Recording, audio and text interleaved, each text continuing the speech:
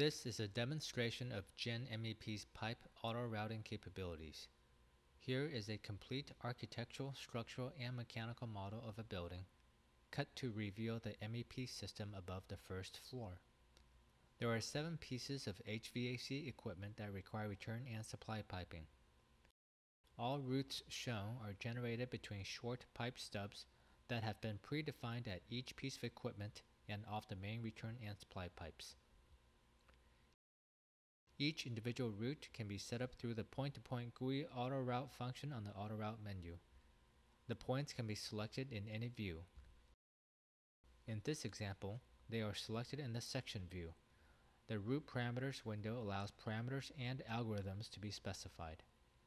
A clash-free route is generated between the two stubs. We can undo or use the delete route function to remove the previous route.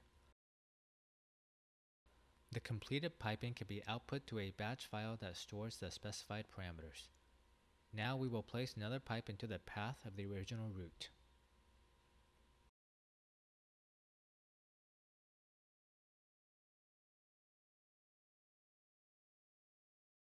The batch file can now be executed again to regenerate a new clash-free route that goes around the obstruction.